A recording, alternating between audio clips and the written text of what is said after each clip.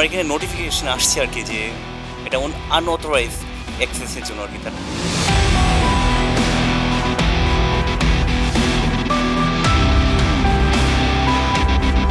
যদি লিস্টে নাও থাকে এটা ইনবক্সে পরবর্তীতে সেন্ড করে কিছু না কিছু বলে।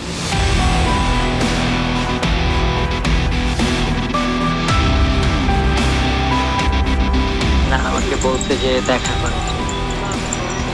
ঠিক আছে দেখা করব বা কোনো পাবলিক প্লেসে তো হচ্ছে সেই ওয়েবসাইট থেকে পেয়েছিলেন নাম্বার?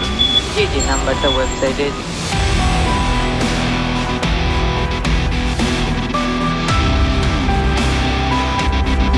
স্যার আমার নামে অন্য কেউ আইডি খুলে ক্রাইম করতেছে।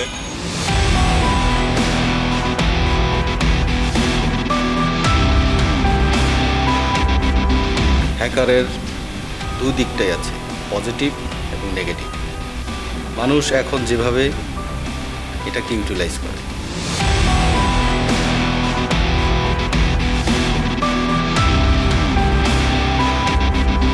আই থিঙ্ক পুলিশের কাছে যদি যায়, তাহলে জিনিসটা অনেক long time and lengthy process আমার ওটা নাও হতে পারে।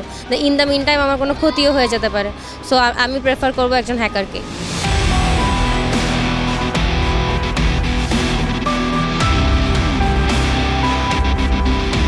master agent, super agent agent নামে এইসব জিনিসগুলো তারা অ্যাপয়েন্টমেন্ট করে। এবং অ্যাপয়েন্টমেন্ট করার জন্য তাদের কিছু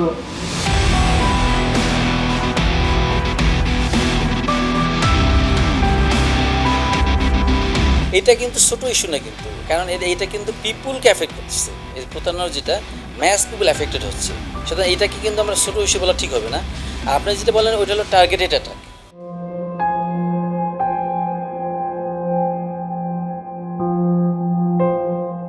সামাজিক যোগাযোগ মাধ্যমে একে অপরের সঙ্গে পরিচয়, এরপর অল্প সময়েই গড়ে ওঠে ঘনিষ্ঠতা। প্রায়ই একে অপরের সঙ্গে নিজেদের ব্যক্তিগত ছবি শেয়ার। এক পর্যায়ে প্রাইভেট ভিডিও চ্যাটের অফার, কিন্তু ভুক্তভোগীর ধারণাই করতে পারেননি, শিগগিরই তিনি প্রতারণার ফাঁদে পড়বেন। সেই ভিডিও চ্যাটটি রেকর্ড করে ভুক্তভোগীর কাছে দাবি করা হলো টাকা। দাবি করা টাকা না দিলে সেই ভিডিও ছড়িয়ে দেওয়ার হুমকি আসে।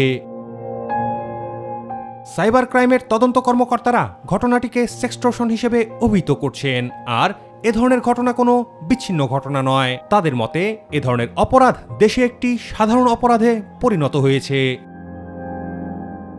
সিটিটিসির ডাটাবেস অনুযায়ী দু হাজার একুশ সালে সাইবার অপরাধের শিকার ব্যক্তিদের পনেরো শতাংশই সেক্সট্রশনের ভুক্তভোগী, যাদের মধ্যে পুরুষ তেইশ জন ও নারী একশো সতেরো জন।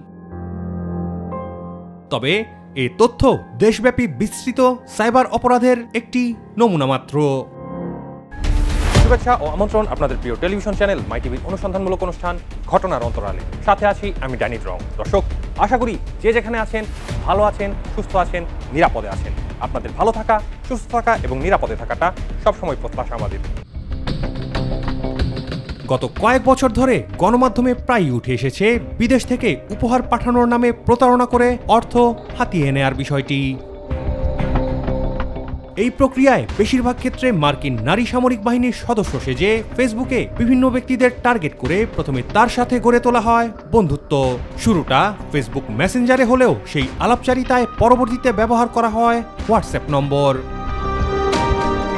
এক পর্যায়ে বিদেশ থেকে উপহার সামগ্রী এবং ডলার পাঠানোর কথা বলা হয়। ভুক্তভোগীকে এর কিছুদিন পর সিন্ডিকেটের সদস্য, কাস্টমস কর্মকর্তা হওয়ার ভান করে ওই ব্যক্তির উপহার এসেছে। উল্লেখ করে সেটি সংগ্রহের জন্য নির্দিষ্ট পরিমাণ শুল্ক জমা দেওয়ার কথা বলে। আর সেজন্য দেওয়া হয় ব্যাংক অ্যাকাউন্ট নম্বর। দফায় দফায় জমা করতে বলা হয় টাকা।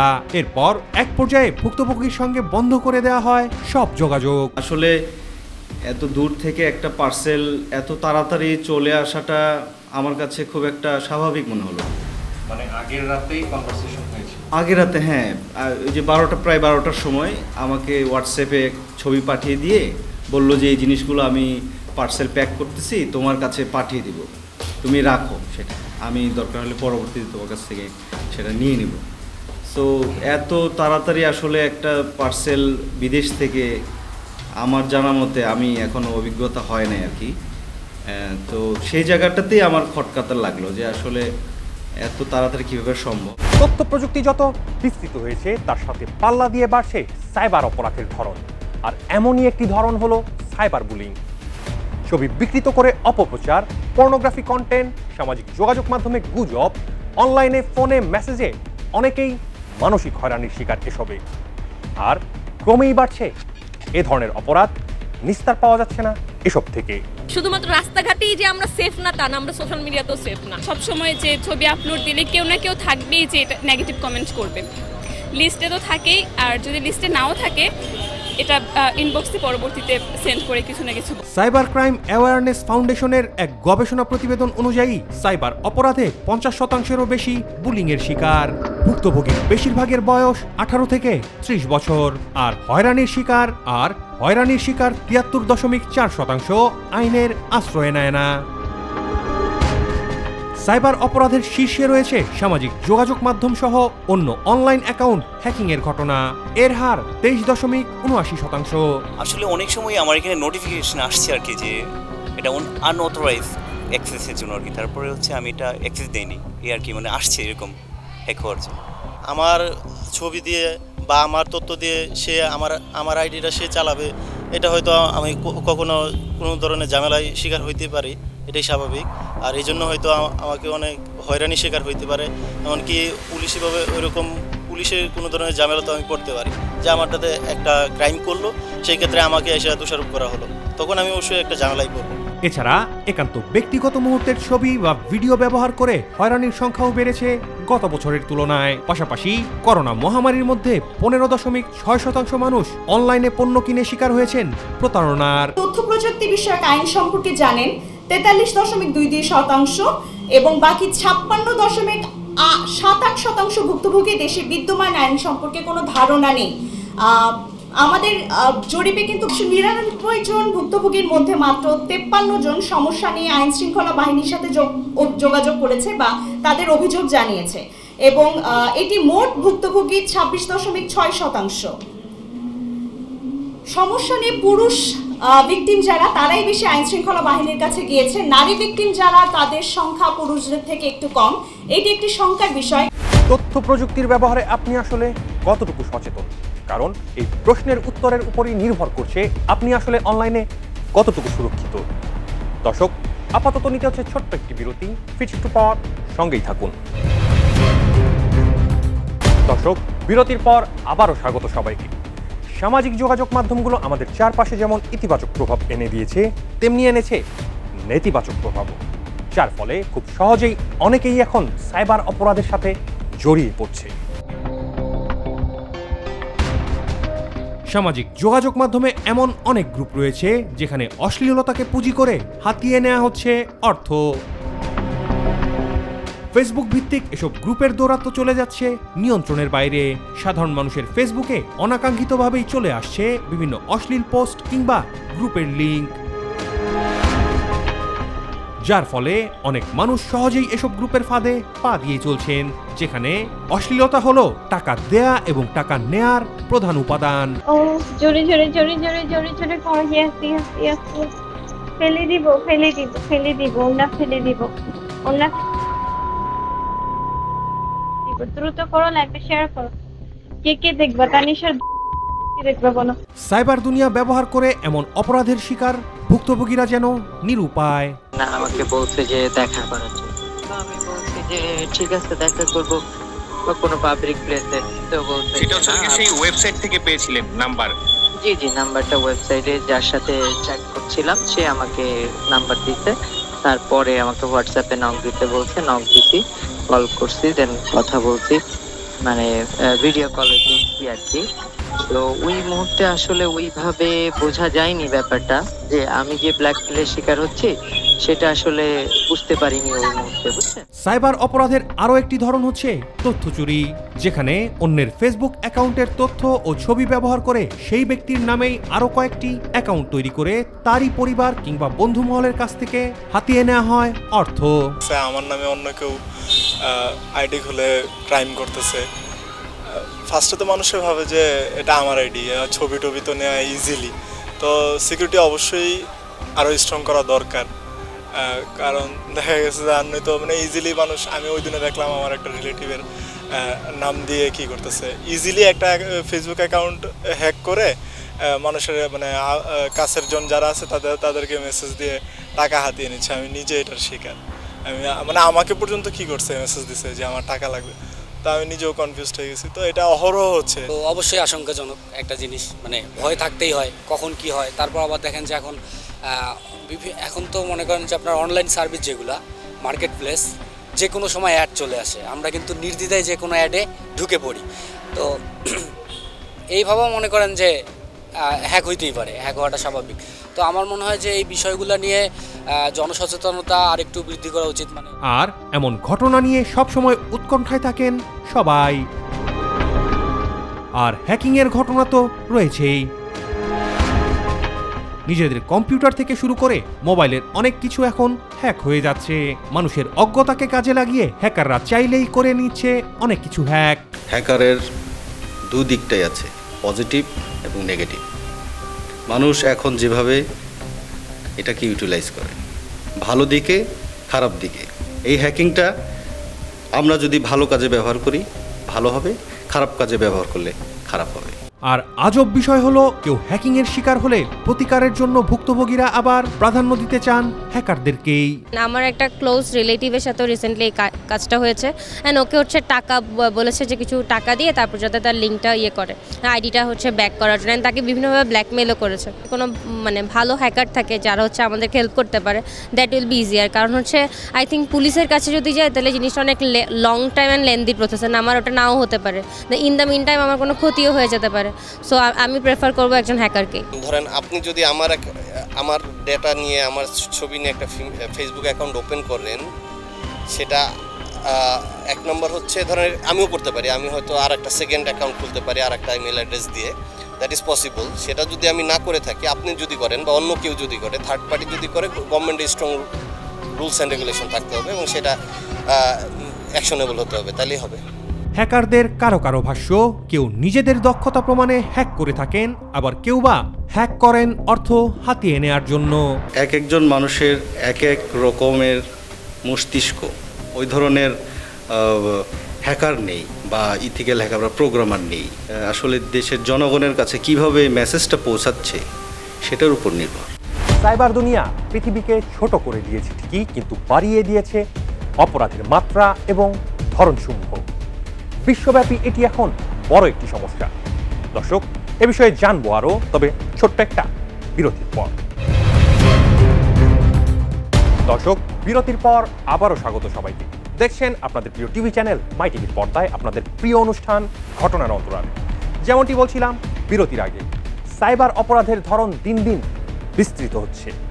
কিন্তু সেই তুলনায় বাড়ছে না সচেতনতা। গত একত্রিশ আগস্ট কুমিল্লার চোদ্দ গ্রাম থেকে গ্রেফতার করা হয় আবু বকর, আবদুল্লাহ আল আওয়াল এবং মোহাম্মদ তোরাফ হোসেন নামে তিন ব্যক্তিকে। সিআইডি জানায়, তারা তিনজন অনলাইনে জুয়া খেলার সাইট বেট উইনার পরিচালনাকারী বাংলাদেশি এজেন্ট। একজন জুয়ারি মোবাইল নম্বর কিংবা ইমেলের মাধ্যমে এই বেটিং সাইটে বা অ্যাপসে অ্যাকাউন্ট খুলে ই ওয়ালেট তৈরি করেন, যাকে জুয়ারিরা ইউএসটিডি বলে থাকে। এখানে টাকাবাজি ধরতে ব্যবহার করা হয় বিকাশ, নগদ, রকেট, উপায়সহ আরও বিভিন্ন মাধ্যম। মোবাইল ফিনান্সিয়াল সার্ভিসের এজেন্টরা জমাকৃত অর্থ তুলে সেই টাকা বাইন্যান্স নামক মানি এক্সচেঞ্জ অ্যাপের মাধ্যমে মার্কিন ডলারে কনভার্ট করে। পরবর্তীতে বাইন্যান্সের মাধ্যমেই সেই টাকা পাচার হয়ে যায় বিভিন্ন দেশে। ইন্ডিয়া নাইজেরিয়াও এই জনপ্রিয় ওরা কাজটা করে কীভাবে? এই রাশিয়া থেকে যে সমস্ত দেশে এটার অপারেশনাল কার্যক্রম চলবে, এখানে কিছু master agent super agent agent নামে এইসব জিনিসগুলো তারা অ্যাপয়েন্টমেন্ট করে।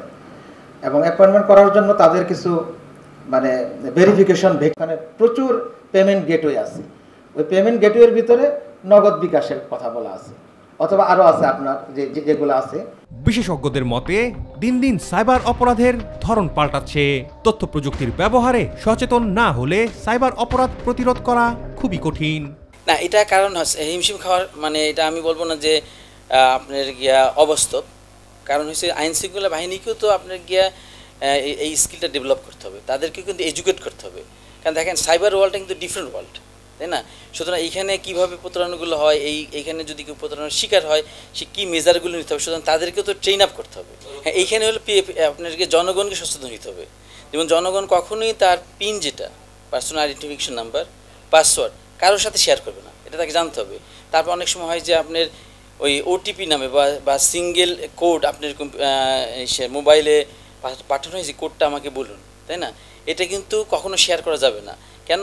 কারণ এইটা এই যে পিন বলেন, পাসওয়ার্ড বলেন ওয়ান টাইম পাসওয়ার্ড বলি আমরা বা যে কোড পাঠানো হয়, এটা কিন্তু লাইক চাবি। এখন, এই চাবিটা তো আমার কাছে থাকতে হবে। অ্যান্ড এটা কিন্তু আমার ডিজিটাল চাবি কিন্তু। আমার লক আছে, কিন্তু লকটা খুলতে হলে আমার এই ডিজিটাল কোডটা লাগবে। সেই কোডটা যদি আমি কাউকে শেয়ার করে দিই, তাহলে কিন্তু সে আপনার গিয়া প্রতারণার শিকার হয়ে যাবে। সুতরাং কোনো অবস্থাতে এবং আরেকটা জিনিস জনগণ জানতে হবে, বিকাশ বলেন, ইউ ব্যাংক বললেন কোনো অর্গানাইজেশন কখনোই কিন্তু পিন চাবে না।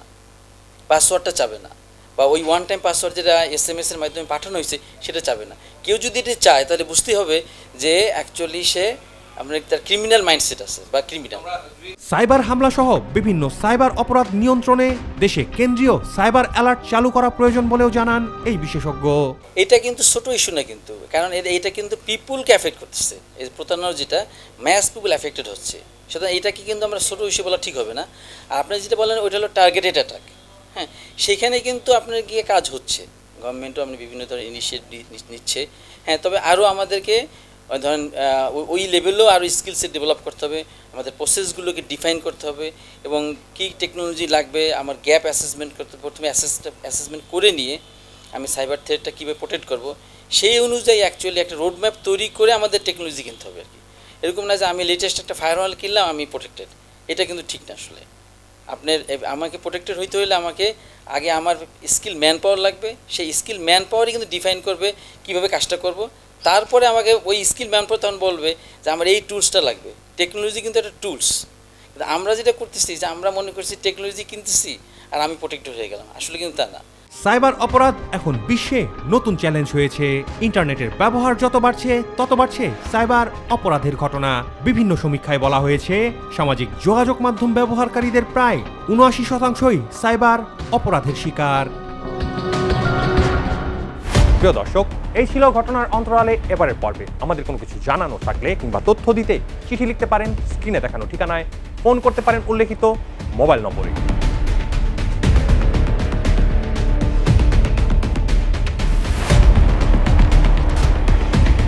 প্রিয় দর্শক, আজকের মতো নিতে হচ্ছে বিদায়। দেখা হবে আগামী পর্বে নতুন কোনো ঘটনার অনুসন্ধান শেষে। সেই পর্যন্ত ভালো থাকুন, সুস্থ থাকুন, নিরাপদে থাকুন।